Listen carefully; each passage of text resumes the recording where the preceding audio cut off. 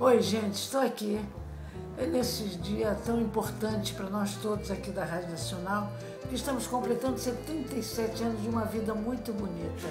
Eu estou aqui há 60 anos, vivi toda essa fase áurea da Rádio Nacional, dos movimentos, da, da grande programação que a Rádio Nacional tinha, que a Rádio Nacional sempre foi a grande universidade do ar. Tudo que se fez em rádio se fez primeiro aqui na Rádio Nacional.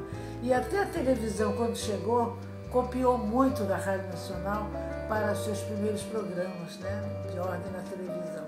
Então, vivemos ainda esse momento espetacular da televisão, vivemos esse momento espetacular do rádio que nos acolhe com tanto carinho e vocês, ouvintes, que são a nossa força para viver, continuar lutando e continuar fazendo um rádio de agrado de vocês, um rádio que chegue até a casa de vocês, uma programação gostosa que a gente procura brindar vocês com tudo isso. Tomara que a gente esteja conseguindo.